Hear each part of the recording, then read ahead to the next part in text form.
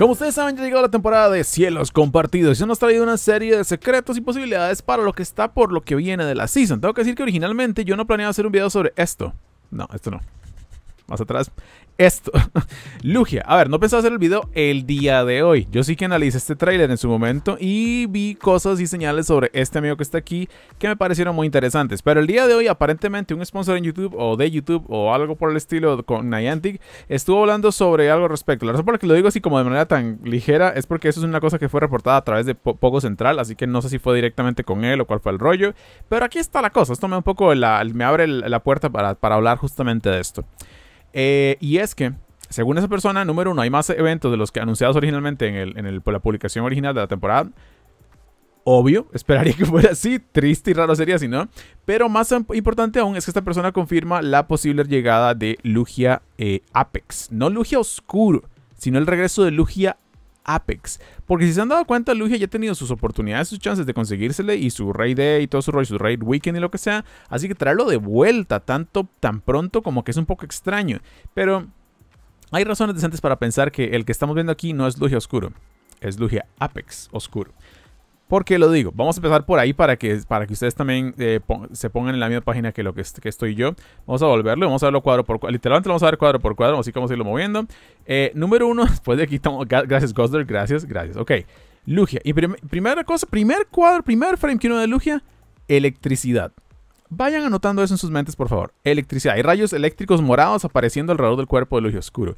Además, que entre, conforme vayamos acercándonos a la imagen de Lugia que está frente a la persona, comillas, comillas, se van a dar cuenta que número de la electricidad, o números de la electricidad sigue apareciendo, pero el efecto oscuro de Lugia claramente es como una sombra extraña o como una nube extraña atrás, y hay un remolino atrás de Lugia. Así que hay dos efectos, remolino y nube, ¿ok? Encima de lo que también sería la parte eléctrica. ustedes dirán, ¿por qué demonios estamos analizando tanto los efectos especiales de esto? Es un tráiler, claramente lo van a hacer así porque quieren que se vea mejor para que... Aquí está la cosa. Los Pokémon oscuros tienen una estética muy específica. Y los Pokémon Apex oscuros tienen cada uno una estética todavía más específica. Y justamente eso es lo que está expresando aquí este Lugia. De hecho, podrán ver en pantalla ahorita los dos Lugias, un Lugia oscuro regular y un Lugia oscuro Apex. Y van a ver exactamente a lo que me refiero. El Lugia oscuro regular tiene los fueguitos estos morados apareciendo por todos lados y demás, que es como funcionan las gráficas de los oscuros, el efecto visual que tienen los oscuros regulares, sin importar si es legendario, normal, lo que sea. Eso es lo que va a tener, sea shiny o no sea shiny, siempre es ese mismo efecto. Y al otro lado pueden ver al Lugia Apex oscuro teniendo una nube, un remolino, electricidad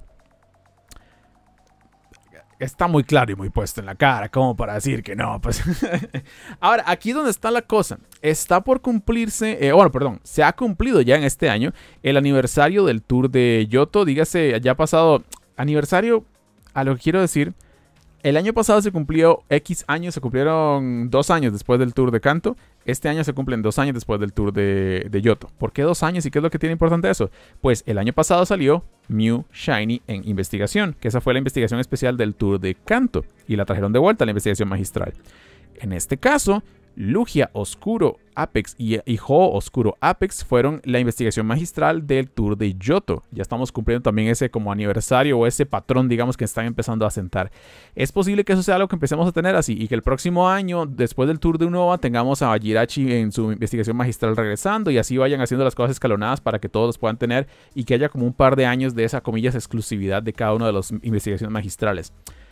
Apunta que esto es así. Más aún porque ya han pasado esos dos años y ahora estamos viendo mención de Lugia Apex Oscuro en este caso. Sospechoso, ¿no? Muy sospechoso. ¿Cómo lo vayan a entregar? No lo sé, ya que esto, si bien es cierto, fue una investigación magistral, igual podrían querer hacerlo de una manera diferente y podrían querer ponerlo en raids o alguna cosa diferente, no lo sé.